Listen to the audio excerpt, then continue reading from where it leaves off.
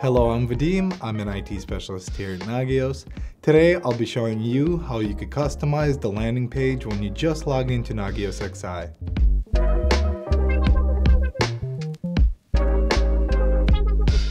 This can be beneficial because it allows you to choose the landing page that best suits your environment.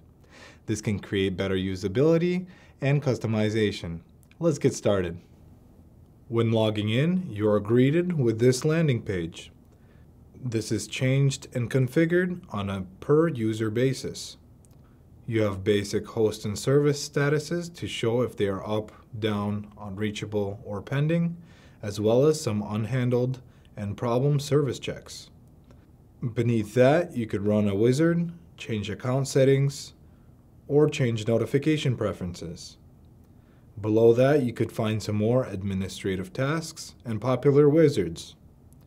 If you would like to change this to something more custom, you could go to Dashboards on the top, then under Add Dashlets, you can manage and add available dashlets. Some of the most common ones that users add are BB Map, Metrics Overview, and Minemap. To add these dashlets, click the little arrow on the left of the picture. You'll want to select the home page and click Add it. Now when you go to your dashboard on the left, you'll see that the dashlet was added on top. You can move it around to your liking. There is also a dashboard template. You can use this to help you visualize how to customize the page and add any other graphs. Now we could change the landing page for when you log in. To get there, click on Nagios XI in the top left corner.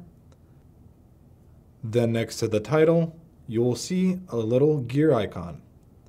This brings you to some options that you could customize such as home page title and destination. Note that the admin default overrides the default homepage title for all users that don't have a custom one set. In the Destination section, you will select Home Dashboard. This will be the one that you created previously, and it could have a custom name depending on what was made. Now click Update Settings. Going back to the home page, you could see that the landing page changed. If you like some of the quick view screens on the left, such as Bird's Eye or Operation Center, you could right click the text and click copy the link. This will allow you to take the URL and use it as a landing page.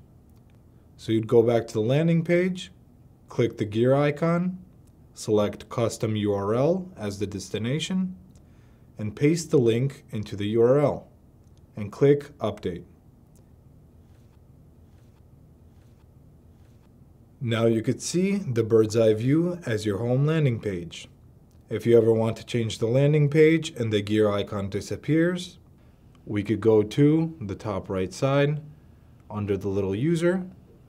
In my case, I am Nagios admin and towards the left side under my account, we'll find homepage options.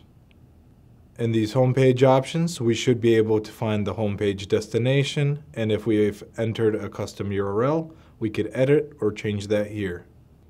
With that, you now have a new way to view your most critical pages by changing your main XI landing page. If you've enjoyed this video, consider checking out our YouTube channel for more helpful content, and I will see you in the next one.